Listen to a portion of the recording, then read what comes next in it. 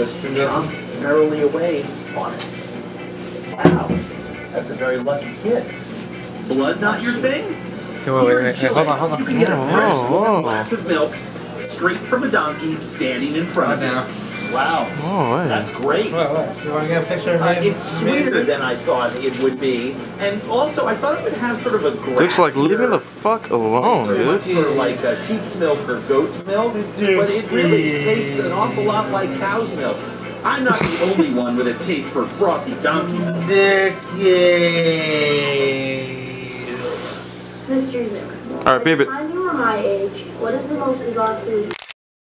Oh, ogres and bugs. Oh, nice. You're going to mom and dad's?